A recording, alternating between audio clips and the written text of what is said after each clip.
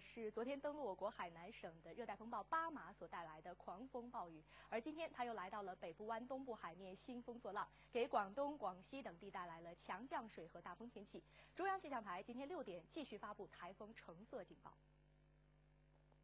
受巴马影响，十三日白天到夜间，北部湾、琼州海峡、广东中西部沿海、广西沿海等地出现七到九级大风，部分海域或地区阵风达十到十一级。广东西南部、广西东南部、海南中西部和北部有大雨或暴雨，局部地区有大暴雨。预计巴马将以每小时十公里左右的速度向西偏北方向移动，逐渐向越南北部沿海靠近，强度维持或略有减弱。可能就离开的时间可能要十四号，基本上这个风暴的影响基本上就结束了。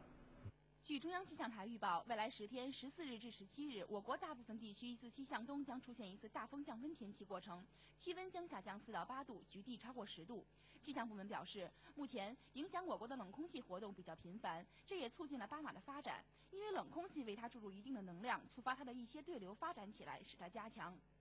呃，从热带风暴影响来说，我们讲主要它是一个热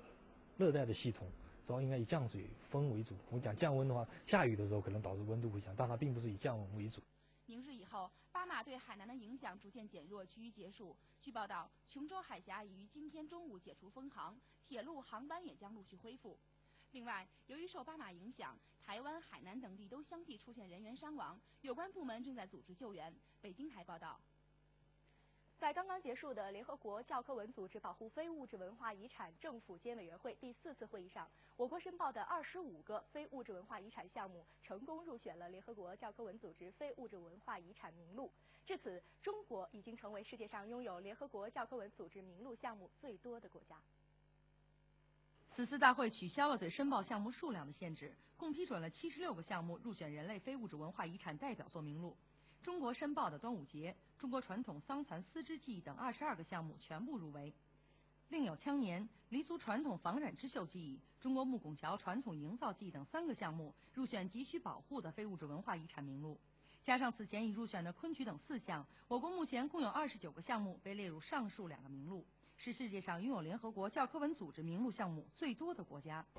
它应该具有的基础性、代表性。呃，还有一个原则，那就是说。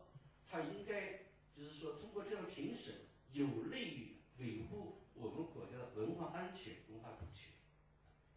还有一个重要原则，就是我们中华民族是多元文化、多元一体的这样一个大格局。作为中国入选非遗名录的二十九个项目中唯一的重大节俗，备受国人关注的端午节，此次也以其两千五百余年的悠久传统、丰富的文化内涵和独特的民族精神入选非遗名录。